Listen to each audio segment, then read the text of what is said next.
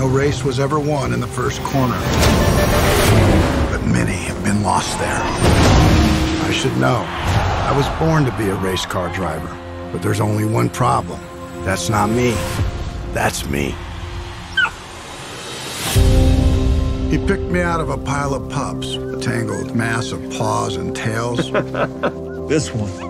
Definitely this one. The pick of the litter. She always said that. Well, just a minute now. We were thinking of keeping them. He always said that too. Hey. Call it fate, call it luck. All I knew was I was meant to be his dog. Do you like that, huh? Like it. I loved it is it. The sound, the smells. I felt like I truly belonged. In racing, your car goes where your eyes go.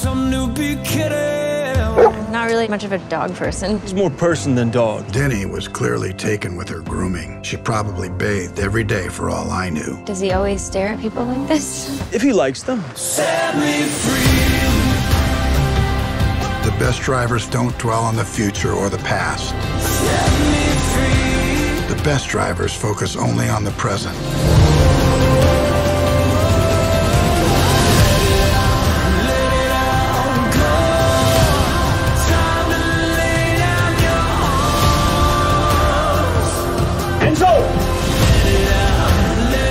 No one knows what curves life will throw at you.